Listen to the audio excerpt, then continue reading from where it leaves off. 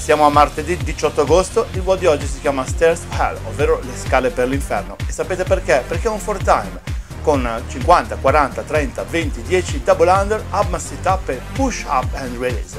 Ad ogni round dovrete fare 200 metri di corsa.